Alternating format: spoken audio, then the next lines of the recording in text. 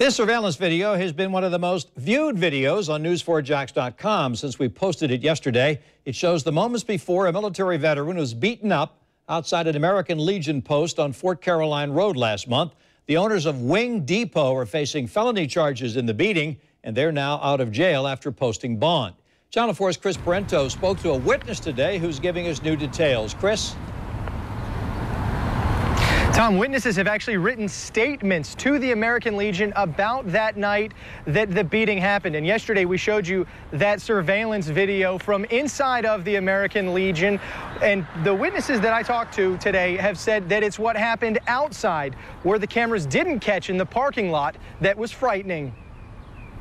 In the video, you can see Charles Hughes and others throwing coasters towards the bartender and in the direction of William and Terry Lodge, who are sitting out of this camera's view.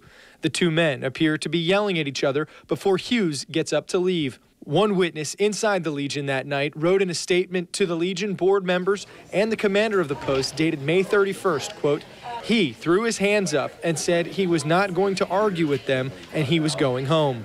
That's when you see Hughes hug two women near the door and walk out. Lodge follows shortly after. Three others from inside the post go outside after them. Legion member Bill Johnson was one of the men who went outside to make sure that things were okay, but they weren't basically what was in my mind was try to break everything up and get any care for the person that that was you know was getting whooped on like that. Johnson's wife, who's an RN, tried to help Hughes in the parking lot until rescuers arrived. She said in a statement written June 1st, quote, "I applied pressure to the victim's nose and back of the head to stop the flow of blood. With other Legion patrons, we got the victim off the ground and into a chair." Johnson says he isn't surprised with the new felony charges, but says the legal process still has to play out. If that's what the law states for this type of crime, then that's that's what they you know what the judge should take. You know, it's up to the judge and maybe a jury to decide whether they're guilty or not. It's not up to me or anybody else, really.